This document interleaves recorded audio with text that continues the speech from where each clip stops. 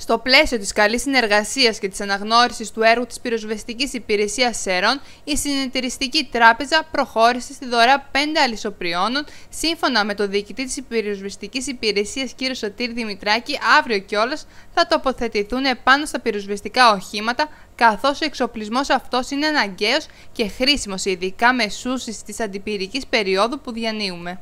Είμαι στην ευχάριστη θέση να σας ανακοινώσω ότι η Συνεταιριστική Τράπεζα στα πλαίσια της καλής συνεργασίας και της αναγνώρισης του έργου μας ε, προέβη στην δωρεά πέντε αλυσοπριών προς την υπηρεσία μας.